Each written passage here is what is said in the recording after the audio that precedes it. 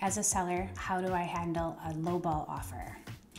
Well, I think that sellers should always counter, no matter what the offer is, um, or at least verbally. But with the market changing right now, we're starting to see homes on the market just a little bit longer. So buyers, of course, are going to come in a little bit lower. If there's not multiple offers right away, um, you know, they feel like they have a little room to negotiate, which sometimes they do and sometimes they don't. Uh, I just had a situation where we had an, a property on the market for a couple weeks, had a lowball offer, we countered, it didn't come together.